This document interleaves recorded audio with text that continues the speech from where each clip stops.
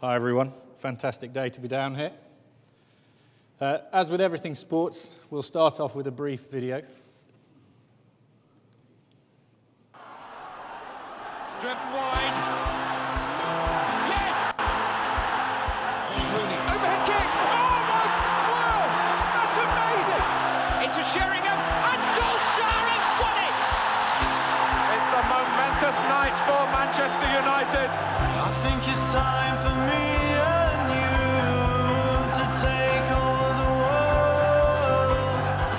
It's the fulfillment of an English footballer's ambition.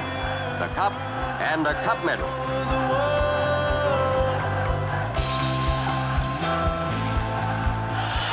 History is made. Manchester United are the champions of Europe again.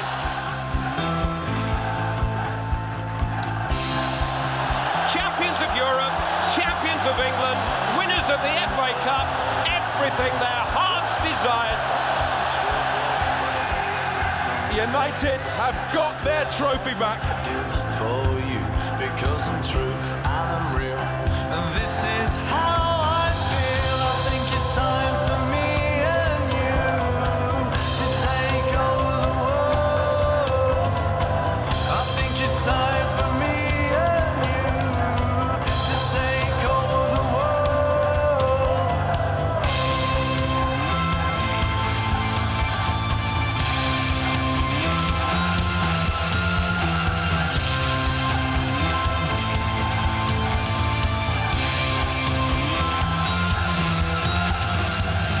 Glossy magazine on the coffee table, you've held court with half of the culprits in there who seem unstable, but you don't look at them like you do at me.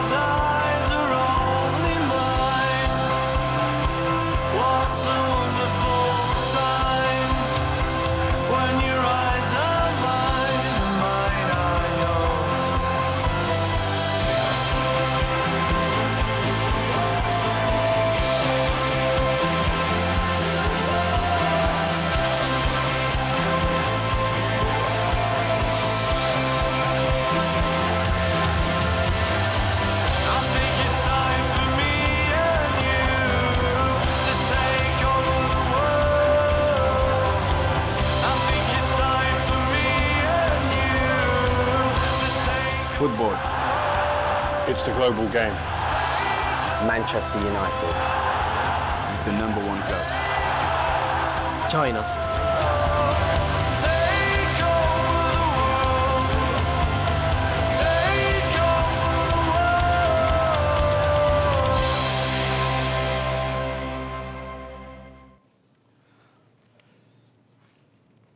So, short video. But the challenge for me is to match Sir Alex on the pitch.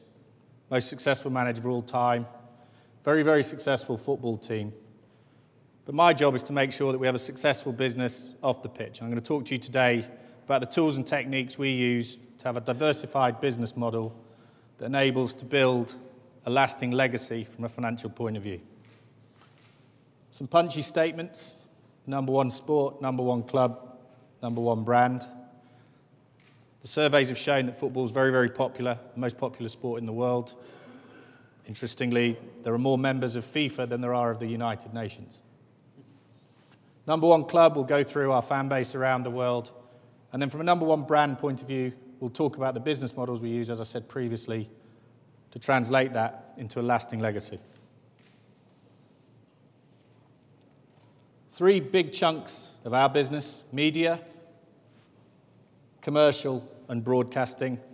So, uh, match day, commercial, and broadcasting. Match day, you'll be very familiar with from a ticketing point of view, but also from uh, corporate hospitality. Broadcasting, the relationships with broadcasters around the world. And then our commercial business splits into three new media and mobile, and that's very, very important, and we'll go through that in some detail. Our sponsorship business, and our retail, merchandising, and apparel businesses. I'm very fortunate to be here. I think that was the first thing someone said to me when I explained what I did here earlier on today. Great job. And I'm very lucky. I'm standing on the shoulders of giants. 134 years of history with some of the most famous players in the world, spanning back over 100 years.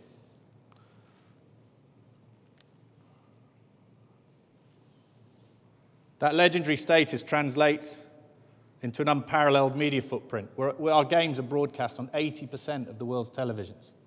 Over a billion households in the world have channels that carry our games. And that translates into 4.2 billion viewers a year. So if you watch one game, you count as one. If you watch 10 games, you count as 10. But that's all off the back of the work of those players and their legendary performances on the pitch. That massive media expansion together with that, the affinity and the tribalism of support for sport, gives us the biggest following of any sport and club in the world, with 659 million followers around the world. So, what do we do with it? Well, the first thing we do is look to build long and lasting relationships, both directly with the followers of our team, but also through corporate partners. Our own media business, we have visitors from over 200 countries in the world coming to our website in 11 languages. We've got the fastest growing Facebook site in the history of sport, and we have our own TV station that's broadcast 24 hours a day in over 50 countries in the world.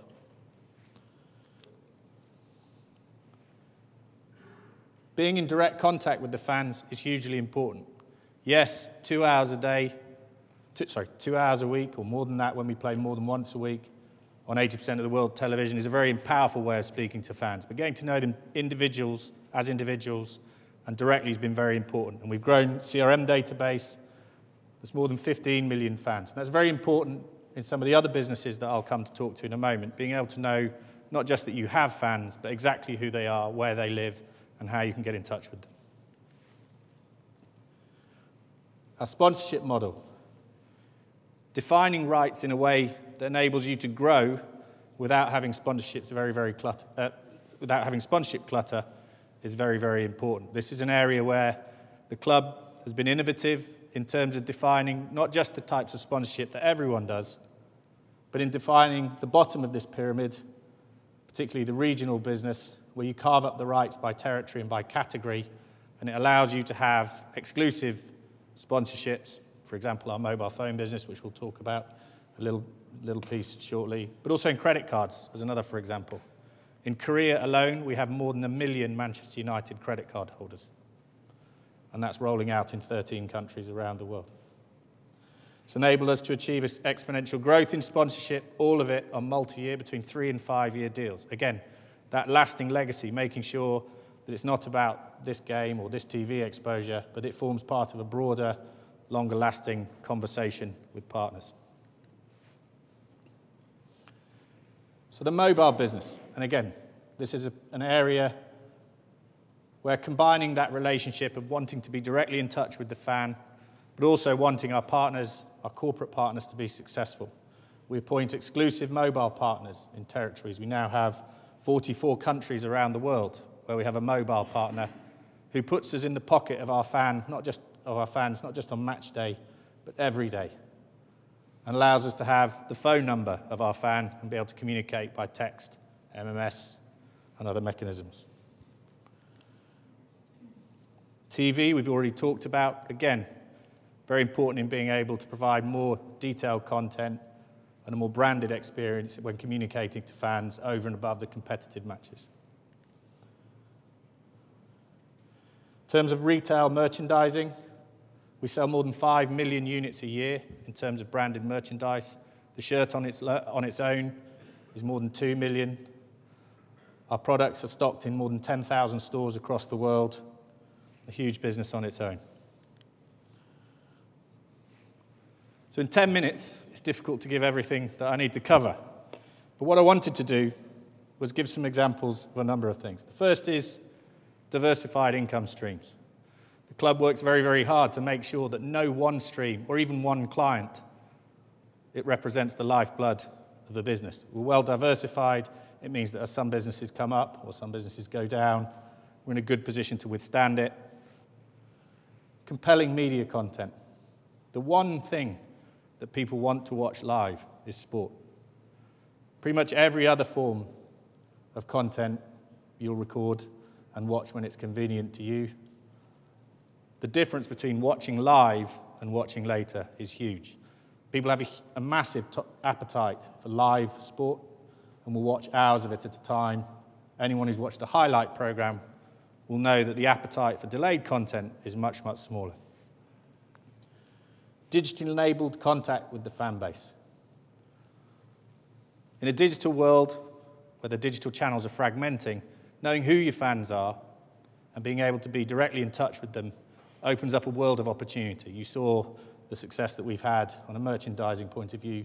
We talked about credit cards, we referred to mobile. But knowing exactly who your fans are and being able to speak to them is a very powerful tool in creating a lasting rela eh, relationship and a profitable relationship in terms of being able to fund the sport going forward. Sponsorship business, generally, big corporates can make more out of a given sector than any sporting body can. So making sure we pick the right corporate partners on a long-term basis who look after and leverage our fan base to make them successful and to bring new and innovative products to our fans. And the merchandising business, again, making sure that the products are distributed around the world, are appealing, and leverage the visibility they get through the sport. And with that, I think my 10 minutes is pretty much up. I'll speak to you in Q&A. Thank you, Richard, very much indeed.